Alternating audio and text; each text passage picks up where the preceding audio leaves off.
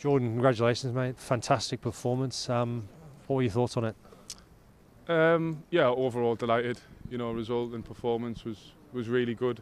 It was always going to be a difficult game against Palace. They know they're a good side, had some good results over the last few months. Um, so yeah, at, to be fair, at times the, the scoreline probably flatters, flatters us a little bit, especially first half, because they had some decent half chances and it caused one or two problems. But but overall, I think we dominated large periods and, and deserved the win, which is, is the most important thing. Uh, you said about the win. I mean, it's, it's a second win now in six games away from home. Is that probably the most important thing that you get back to winning ways away from home, and reiterate that you're you know you're a strong force and you're you're going to win this title again or go for the title? Yeah, every game, whether home or away, it doesn't matter. Um, we've got to keep the performance level high, the standards high. We know that.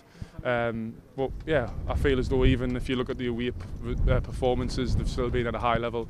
You know, especially in, in two games, I felt we should have come away with the three points. Um, if it wasn't for certain things that happened within the game towards the end. Um, but performance level, home or away, is, has been high for the majority of the season. Of course, there's been one or two moments where we haven't quite been at it and, and maybe got punished for that. Um, but that's the Premier League, so we need to be ready every single game, home and away. The other positive, Naby Keita, getting through 90 minutes. Obviously, you've had a lot of injury issues, but having someone come back like that is, is massively important, right? Yeah, very important. Uh, Naby and, and Taki coming into the, the team today, I thought were outstanding.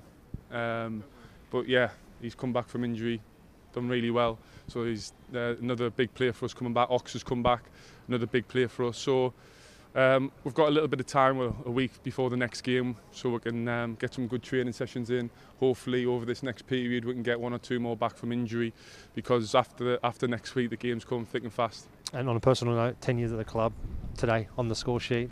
Nice to score again. Yes, um, very nice. It's always nice to score. um, so there, that was that was nice. Um, but as we always say, the three points is the most important thing. Um, and it was a big three points today. Yeah. Great, mate. Congratulations. Thank you. Thanks, mate.